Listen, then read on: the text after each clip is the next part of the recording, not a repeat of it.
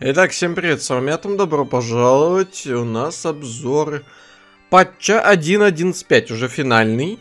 А, то, что прошлый видос был, так скажем, смотр на бету-версию, и отличия есть. Какие-никакие, но они есть, но мы сегодня посмотрим, а, насколько оно будет отличаться от предыдущей версии, не откатиться уже на старую версию, вроде как на 11.4. Изменение яичника крупные державы посылают добровольцев на гражданскую войну в Испании даже без резистанса. Больше не считает вражеские озера опасными. Узнал, что такое безумие, больше не пытается повторно атаковать то же место. Если предыдущая так провалилась. То есть боты немного поменьше убиваться будут. Сомневаюсь я очень в этом яичнике в любом случае. Ну и так далее. Заканчиваются людские ресурсы и так далее. Ну это яичник, тут э, особо рассуждать нечего. Итак, интерфейс. Режим карты снабжения позволяет взаимодействовать со счетчиками морских юнитов и не скрывает окна флота. Справленные окна армии и флота, открывающиеся поверх друг друга. Да, по-моему, что-то такое было. Тут много достаточно интерфейсных изменений, но их особо уже прям все зачитывать я не буду. Ну, как-то интерфейсные баги, я не думаю, что сильно кому-то мешали. Ну и самое главное в этом патче, разумеется, баланс. Прошлое ну, не так сильно важно, что ли, а баланс реально э, крайне важная тема. Так как его поменяли достаточно сильно, ну и сегодня мы это Постараемся рассмотреть. Базовая стоимость теоретика Блицкрига повысилась. Обаятельный листец теперь снижает затраты на улучшение отношений. Бесполезно все так же. Э, тайный манипулятор больше не дает множитель политочков. Вместо этого дает подрывной деятельности защита от смены идеологии на 0.25. Благожелательный джентльмен теперь снижает сопротивление урону по гарнизону, помимо ежемесячной прибавки к мнению. Ну, это, в принципе, неплохо. Идейный борец теперь дает модификатор стабильности популярности партии помимо старых эффектов.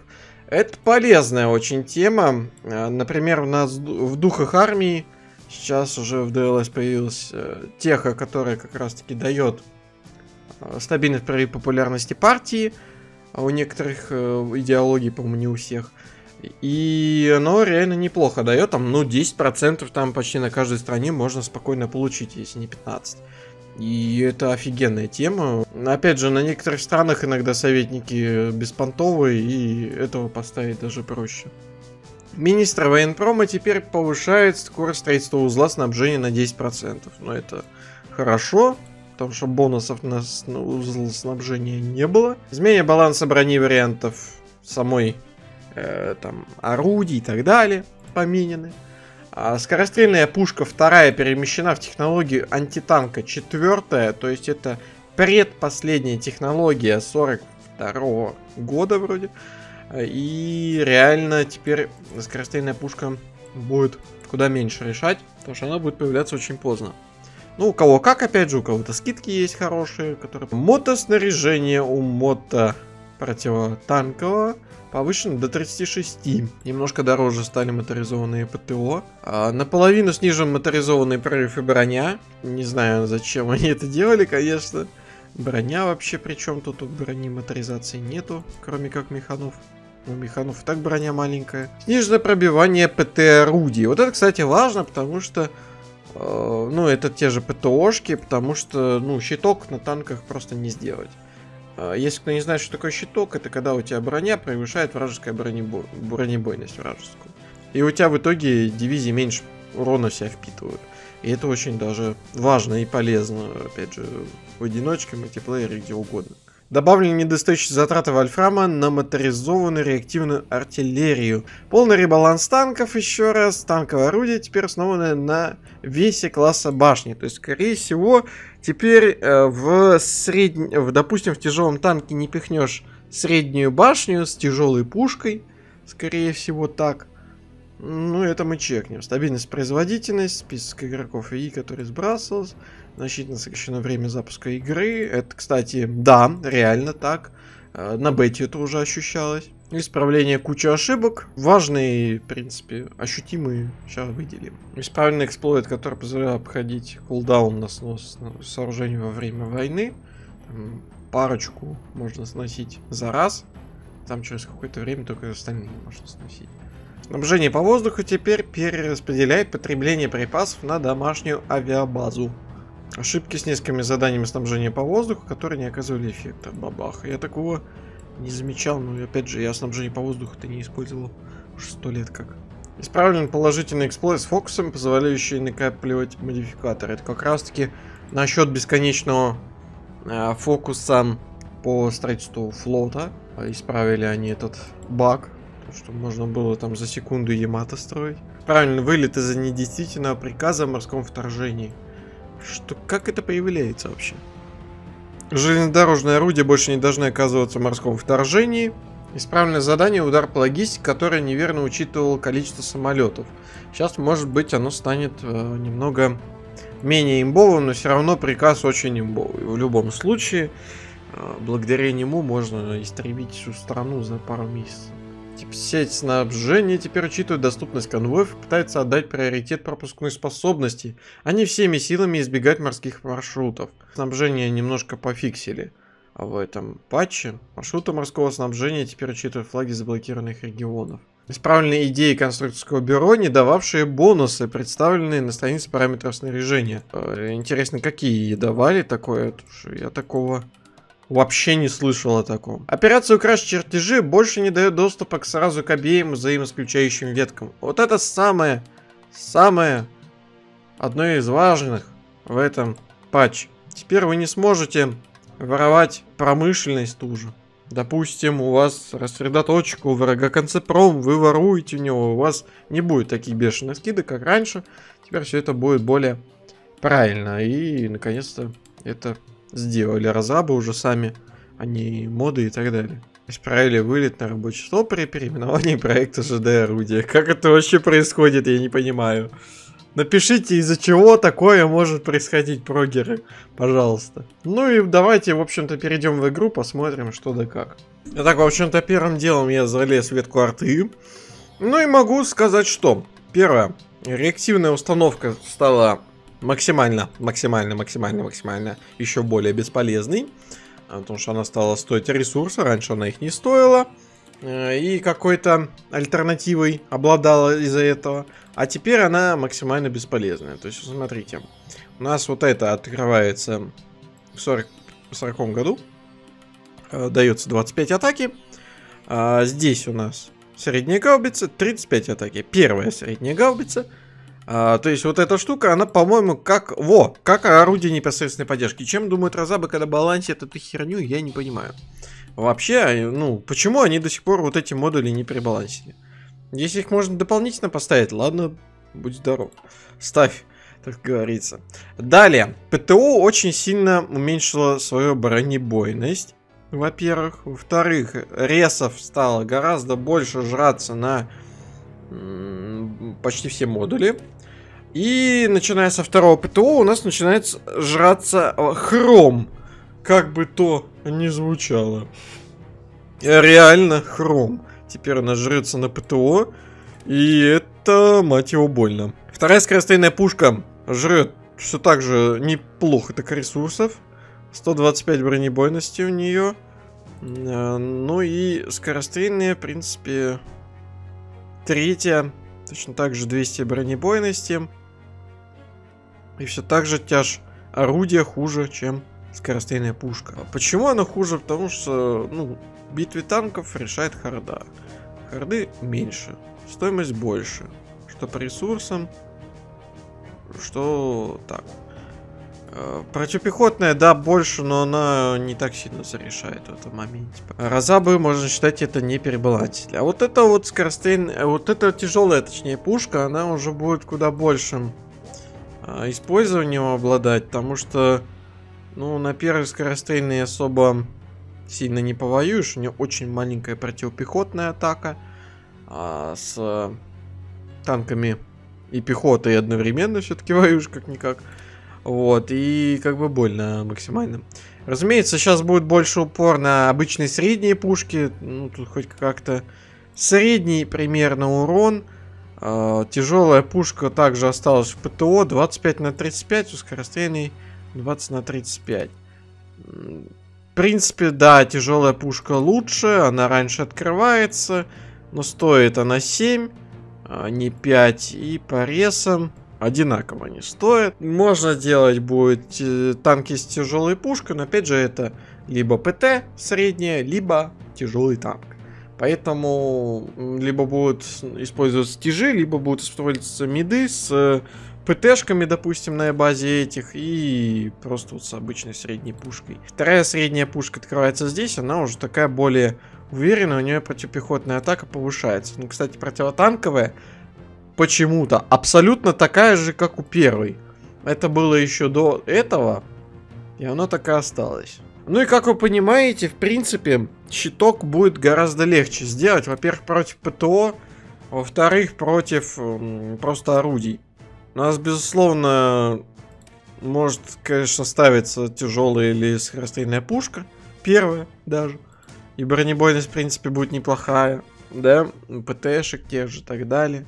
Но сами танковые именно дивизии, если их не разбавлять чем-то дополнительно, и они будут на обычной средней пушке, бронебойностью они сильно большой обладать не будут. Ну и, соответственно, танки... Танки у нас очень-очень-очень сильно подешевели. А, по крайней мере, их а, основной модуль, так скажем.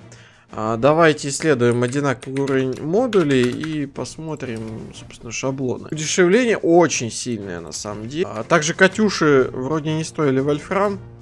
Да, они не стоили вольфрам, и теперь стоит вольфрам, поэтому... Все, эра прошла. В общем-то, танки реально станут гораздо дешевле. То есть мы, по сути, можем поставить ну, пушку какую-нибудь, да? Все. 6,4 молотка. Тупо. Средний танк. Пацаны. Это как вообще, да? Ну, ресов много жрет, но сейчас, я не знаю, но это будет критически много танков на фронте. Ну да, можно понаставить пулеметов, там будет средний танк примерно 8 молотков. Как бы окей, окей, вообще, no problem.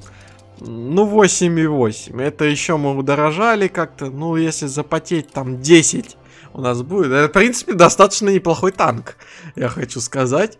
Ну, в плане противопехотной атаки, разумеется. Э, типа, реально дешево. Очень дешево. Реактивная установка еще и дороже выходит. И она такая же, как среднегаубица, и она говно. Я не знаю, чем разрабы думают, когда балансит эти оружия. Вообще э, бессмысленно абсолютно все так же это орудие. ПТшку делаем за 12 молотков. Очень дешево, конечно, стали танки стоить. Нет, да, сейчас можно упороться, там поставить броню. Почему бы нет? Он будет стоить, в принципе, не, не настолько-то прям очень дорого. Клоны поставим там. Еще техи на броню вкачаем, в принципе, будет неплохо. Здесь они, в принципе, ничего не балансили. Радио стало меньше прорыва давать, кстати. И, в принципе, танки с упором на броню сейчас будут куда легче играться. Соответственно, вас э, пирсить обычная пехота хотя бы не будет. Даже с ПТОшками, там ПТО в линии придется ставить. Ну, в принципе, нормальная тема, по-моему, да, в этом плане. Давайте, кстати, я забыл броню исследовать. Броня, которая у нас сварная. Сварная броня. Ну, давай все вообще все исследуем. А, они все-таки аж оставили уклепанной брони. Они убирали стоимость производства. Из-за этого она была вообще никчемной по сравнению со сварной. Сейчас, точнее, и сейчас клепанная дает эту стоимость производства уменьшения. И хоть какой-то смысл в ней опять же появился. Здесь, конечно, плюс 20 стоимость производства, но это дохрена. Скорее всего, сейчас будет мета на сварной броне, разумеется. Там какой-нибудь, что-нибудь там придумать. Там броню вкачал, поехал, покатился. Там наклонную сделаем.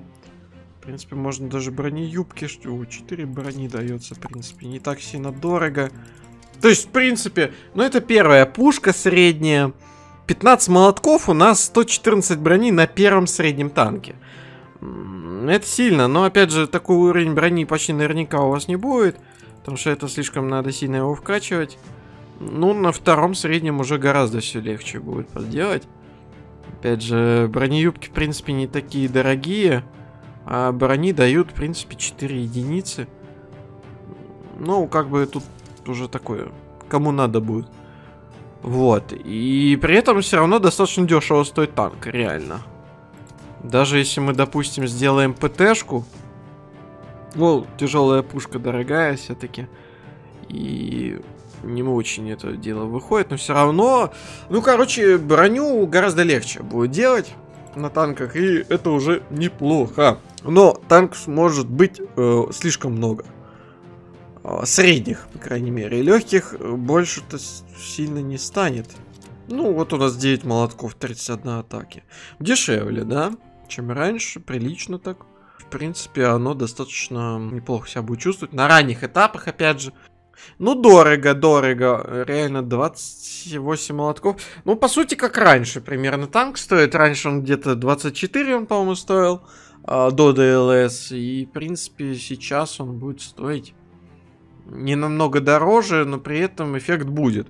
Ну, опять же, это от второго танка будет эффект. Да, броня у первого тяжелого и первого среднего одинаковая, поэтому на первом тяжелом вообще смысла кататься только ради тяжелой пушки и все. Здесь же 10 уже разницы брони есть, и в принципе она достаточно будет неплохо решать. Но опять же, тяжелого танка больше прорыв, на прилично так. Ну и стоимость тоже, мое уважение, насколько больше. Также давайте поговорим про некоторые моменты, которые они не написали, но которые, по сути, есть в патчноуте английском на бета-версию.